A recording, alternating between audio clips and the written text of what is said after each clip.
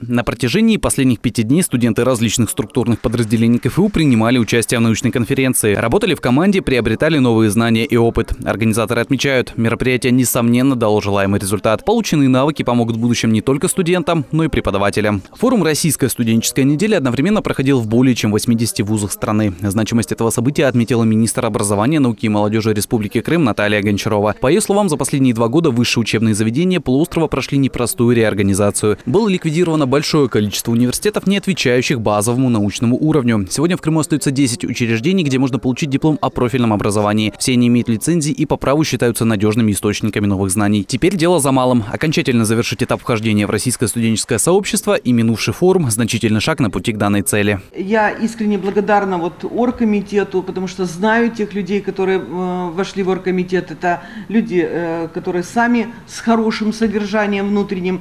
И э, очень искренне надеюсь, что форум действительно прошел с пользой э, для каждого. И не, не обязательно эта польза должна проявиться вот уже сейчас там, или на следующей неделе.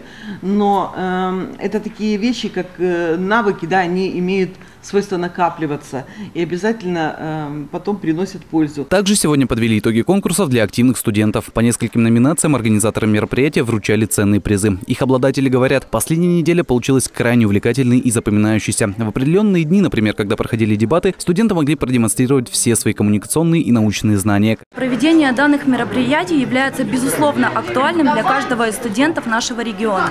Это очень повышает активность, очень настраивает молодежь на нужный лад.